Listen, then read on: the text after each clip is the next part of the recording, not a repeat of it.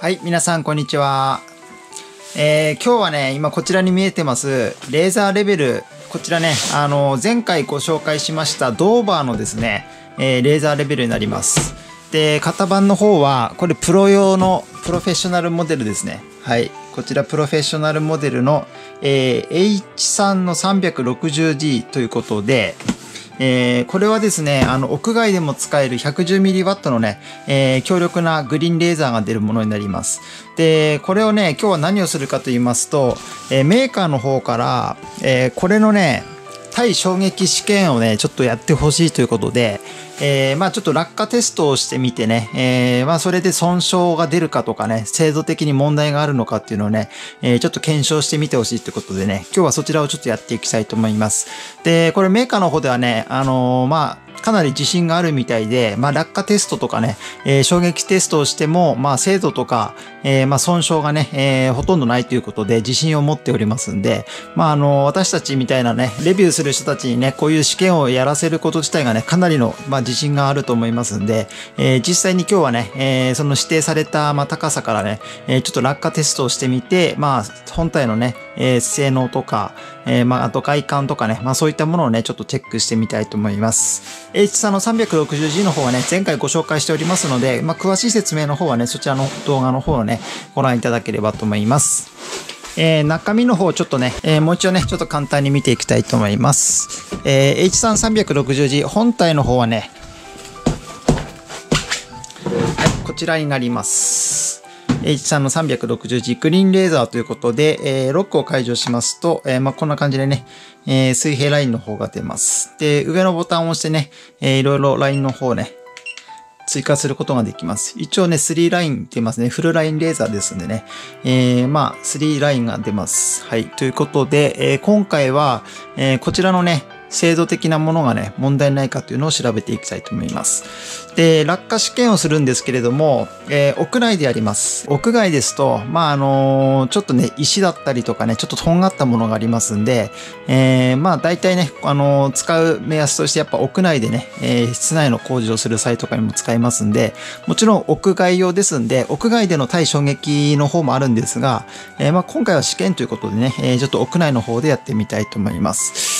で、一応ね、あの、こちら付属品ありますけどね、まあ、こういったものは、あの、今回使いませんので、え実際に本体を落下させてみて、まあ、精度的なものがね、え問題がないかというのを見ていきたいと思います。で、ちょっとね、私のやり方として、どうやって精度を確かめるかなんですけれども、えーこちらに、えーもう一台ね、えー H 3の 360G ございます。で、これがね、今、こんな感じで、レーザーが出てます。で、これをね、ちょっと基準にしまして、えーこれは照射しっぱなしにします。で、これのね、で、このレーザーの照射に対してですね、今、こういうふうに二重に出てます。はい。えー、まあ、これをちょっと基準としまして、えーこちらをね、落下テストしますので、えーこれがね、あの、こちらの基準のね、えー H3 の 360G に対して、まあ、ズレが出るかとか、えーまあ、こちらはね、あの、新品ですので、えー、精度的には問題ないと思いますんでね、えーまあ、そういったところをね、ちょっと見ていきたいと思います。はい。あと、まあ、あの、外観的にもね、あの、損傷が出ないかとかね、まあ、そういったものもね、見ていきたいと思います。で、一応メーカーとしてはね、まあかなりね、この本体の耐久性にはね、まあ自信があるようですんでね、えーこの本体自体もね、この二重のね、クッションで包まれて、えー対衝撃性がね、あるということで、まあ優れた精度とね、えー耐久性があるということで歌っておりますので、まあ実際にね、まあ持った感じもかなり、まあゴムのね、えー質感とか、えーまあこう衝撃性はね、ありそうな感じはします。はい。えーあと、こちらね、まあ、このレンズの部分とかもね、えーこれアルミかな、えーのものを使っておりますんで、まあ、あのーそんなに簡単にはね、壊れないとは思うんですが、まあ、こういったところが当たった時に、えー実際に本当にね、損傷がないのかっていうのもね、ちょっと見ていきたいと思います。はい。じゃあ、まずね、こちらを照射します。はい。で、こちらは消します。で、今の時点で、まあ、どれぐらいのね、差があるか。あ、もう一回つけようか。はい。で、どれぐらいの差があるか見てみます。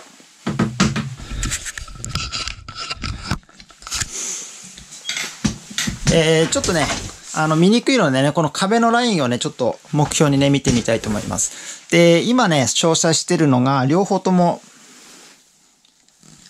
はい、こんな感じで照射してますけれども、えー、これをね、今、こんな感じです。はい。今手で塞いでますけども、えー、2つのラインがぴったり重なってます。同じ高さにありますんで、えー、一回これ消しますね。はい。で、今はね、この基準のレーザーの方が1個出てます。で、もう1個のね、あの、試験する方のレーザー照射します。はい。こんな感じです。うん。今ね、綺麗に二重になってね、重なっておりますんで、えー、これをね、実際にまあ落下してみて、まあズレが出るかとかね、まあそういったものをね、ちょっと見てみたいと思います。はい。じゃあね、早速落下試験の方を始めていきます。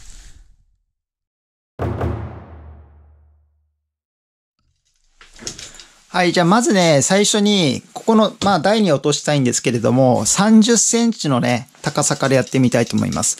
えー、30センチね、今メジャー見えておりますんで。はい。じゃあ、この高さから、えー、今これロックしてません。はい、ブラブラしてますんでね、ロックしてません。えー、この状態で30センチのこの高さからね、えー、落としてみたいと思います。はい。じゃあ落とします。はい、バッテリーが外れました。ちょっとバッテリーの 蓋があれだったのかな。バッテリーが外れちゃいましたけれども、えー、今ね、えー、落下させました。30センチの高さから。はい。じゃあこれがね、えー、実際ちょっと光るかね、やってみます。はい、問題なく光ります。で、今のラインがね、えー、どうかと言いますと、はい。大丈夫ですね。ぴったり重なっております。はい。全く二重になることもなくね、綺麗に重なっております。えー、30センチのね、えー、落下テストはこれ合格となりますね。はい、じゃあ次にね、50センチ行ってみたいと思います。じゃあちょっとカメラの方ね、離してね、50センチであります。50センチね、メジャーで今この高さになっておりますんで、えー、この高さからね、落下させてみます。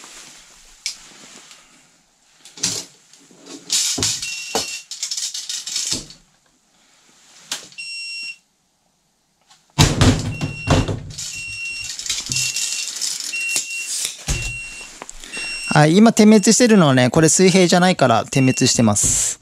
はい。じゃあ戻しました。はい、えー、テントの方はね、問題なくしております。じゃあこちらでもう一回ね、えー、LINE の方確認してみます。はい、いかがでしょうか？ぴったりね、えー、重なっております。まあ、精度的にはね、えー、まだずれてないと思います。はい、まだです。まあ、どれくらいまでね、耐えきれるかわかんないですけども、今ね、これ実際カメラで伝わるかわかんないですけども、かなりのね、えー、衝撃来てます。はい。50センチから落下ですと、え、まあ、本当にね、これ壊れるんじゃないかぐらいのね、え、相当な衝撃が来てます。はい、じゃあ次にね、80センチいきます。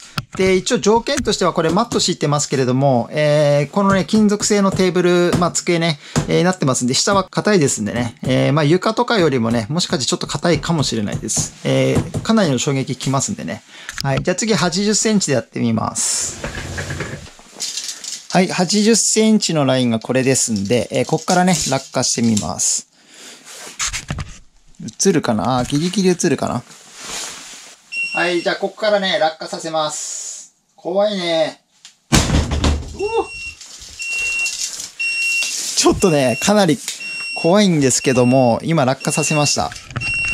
えー、めちゃくちゃね、衝撃力は強いです。ちょっとあんまりね、こうやって、自分のレーザーあんまり落としたくないんですけども、まあ、メーカーさんの方でね、大丈夫って言うから、これちょっとやってます。はい。じゃあね、点灯の方は問題なくしておりますんで、えー、もう一回ね、えー、重ねてやってみます。はい、いかがでしょうか？うん、ぴったりですね。はい、重なっております。問題ないです。まあさすがですね。まああの、こんなので壊れたらね、あの耐久性もクソもないんでね。はい。まああの、一応屋内ですんでね、えー、まあ壊れにくい環境ではあるんですけれども、えー、次はですね、1メーターであります。これがマックスです。1メーターからのテストをしてみます。これちょっとね、あんまり心臓に良くないね、これね。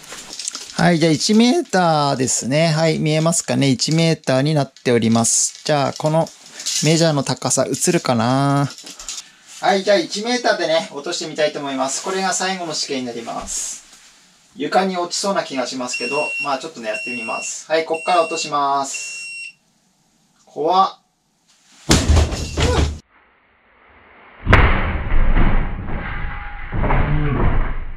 えー、めちゃくちゃすごい衝撃です。はい。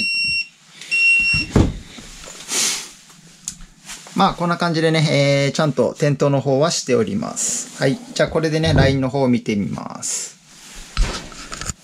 ちょっと見るのも怖いんですが、はい。えー、見事にね、すべてのラインが一致しております。はい。すごいね。これちょっと試しに他のラインもつけてみようかな。まあ、これはちょっと比べようないけども、まあ、このね、縦のライン的に問題がないか。ああ、大丈夫ですね。はい。あの、今わざとね、隙間開けて並べてますけども、はい。縦のラインも問題ないですね。隙間の方は、えー、ほぼ一緒ですね。はい。はい、今ぴったり重なりました。うん、問題ないですね。ええー。まあ、えー、こんな感じでね、あのー、まあ、点灯させたままね、今回落下させてみましたけどもね。はい。じゃあ最後にね、ちょっとね、一番怖いんですが、えー、ここのレンズ、えこのレンズの部分をね、下にして落下させてみます。えー、そうしますと、これ今光ったままでね、えー、この状態で落ちますんで、まあ、それでね、一番怖いんだけど、ここがね、ちょっと壊れないかどうかね、えー、ちょっとそれをね、確認してみたいと思います。はい。一番やりたくない試験ですが、えー、まあね、ちょっとやってみたいと思います。1メートルの高さからやってみます。はい、じゃあ1メートルの高さからね、えー、このレンズを下にしてね、やってみたいと思います。はい、じゃあ落とします。うわー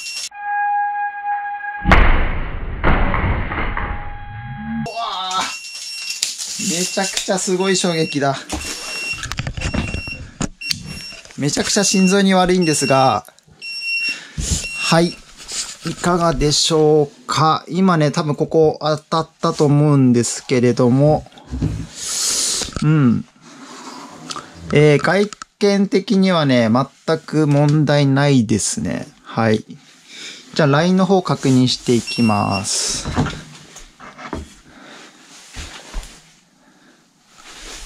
えー、ちょっと今ね、わざとずらしますね。はい。じゃあこれでね、収まった時に、えー、ぴったり重なるか見てみます。はい。じゃあ手を離します。はい。うん。大丈夫ですね。ぴったり収まってます。はい。わかりますかね？はい。ぴったりのラインが出ております。いやー、これね、ちょっと怖かったね。あのーちょっとね、あんまり心臓には良くないんだけども、まあ実際にね、落下させてみて、えー、まあこのね、あのー、まあ精度のズレがね、今ないということがね、分かりましたので、えー、まあこの二つはね、えー、全く同じ高さをね、示しております。で、合計4回プラス、えー、1回ね、この上をね、えー、落下させてやってみましたけれども、まあもちろんあの、外見的にもね、問題がないです。で、精度の方もね、えー、問題ございませんので、うん。あんまりね、ちょっと自分ではね、こういう試験はしない方がいいと思います。つか、あんまりしたくないですよね。多分自分のをね、やってみようっていうのはなかなかいないと思うんですが、まあ今回はね、ちょっとメーカーさんの方からね、えー、落下試験してくれということで頼まれましたのでやってみましたけども、まあこんな感じでね、えー、まあ落下しても、まあ制度的にはね、特に問題がないっていうことが、えー、証明されました。はい、いかがだったでしょうか？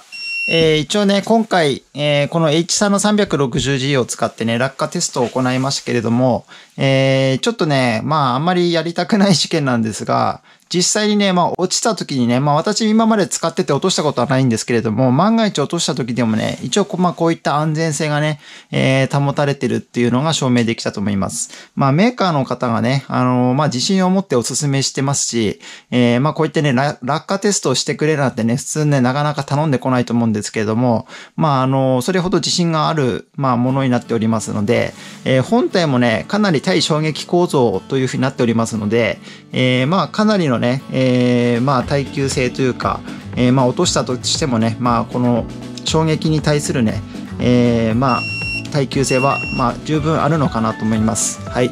H3 の 360G はね、あの、ドーバーのフラッグシップモデルとなります。110mW のね、クリーンレーザー。で、屋外でももちろん使えます。で、まあ、あんまりね、こう、火が強い時には、えー、受光器とかね、まあ、そういったものを使って、まあ、前回ね、あのー、ご紹介しましたね、まあ、こういったレーザー受光器、まあ、こういったものを使ってね、あのー、まあ、120メートルだったかな、えー、まで測定することができますんでね。はい。まあ、こちらね、えー、かなりおすすめです。まあ、ドーバーの中では一番ね、あの、グレードの高いモデルとなっておりますので、まあ、その他にもね、えー、レーザーが4つ出るタイプとかありますけれども、まあ、この H3 の 360G はね、一応プロフェッショナルモデル用のね、えー、一番、まあ、高いモデルというかね、えー、まあ、一番上級モデルというふうになっておりますので、まあ、あのこちらのね、えー、耐久性の方ね、今回ちょっと確認で、ちょっと落下テストの方してみました。えー、商品リンクの方はね、概要欄の方に貼り付けしておきますので、よろしければね、ご覧いただければと思います。で、こちらのね、えー、H 3の 360G を使ったね、作業動画とかも上げておりますのでね、まあ、よろしければね、そちらの方も見ていただければと思います。はい、じゃあ今回はね、このドーバー H3 の 360G のね、落下試験ということでやってみました。まあ、あのー、今回ね、30センチ、あと50センチ、80センチ、あと1メートルということでね、え、4段階の高さで落としてみましたが、まあ、どれもね、えー、精度のズレもほとんどなくね、えー、まあ、十分な、え、精度が保たれてるかなと思います。はい。まあ、もちろん外見もね、あのレンズ、ちょっとね、レンズが実際にバッチリね当たったかわからないですけれども、えー、まああのこちらをね、えー、下にして落としたとしてもね、えー、このまあガラスの割れとかねこのアルミのねえー、この筐体の壊れとかね、まあそういったものももちろんございませんので、えー、まあ十分ね、耐えれると思います。屋外でね、あの、ちょっととんがったものとか砂利の上とかね、あの、当たりどころを歩いてもしかするとね、えー、まあひびが入ったりとかする可能性はありますけれども、一応今回屋内でのね、まあ本当の衝撃という面では、まあ十分なね、えー、まあ精度がね、保たれているというのが分かったかなと思います。はい。じゃあ今日はね、H3360 の落下テストということでやってみました。えー、またね、今後もあのこういったレーザーを使ったね、えー、作業動画とかね、DIY の動画上げていくと思いますのでね、よろしければご覧いただければと思います。はい。じゃあ今日はここまでにしたいと思います。ありがとうございました。